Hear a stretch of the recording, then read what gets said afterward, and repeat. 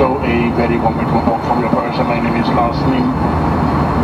Enjoying the lovely company of my three charming and service-minded colleagues, Susanna, Anna, and uh, finally my first colleague, Susanna, being your friendly crew on this flight.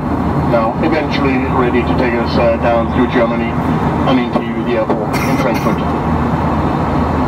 In uh, just a few minutes, when our captain has turned off the fasten seatbelt sign, we will stop to prepare meat and drink carts in order to serve you something to eat and to drink. Passengers in uh, SAS Plus will be offered an cold meal. Of course, your choices of snacks and cold beverages.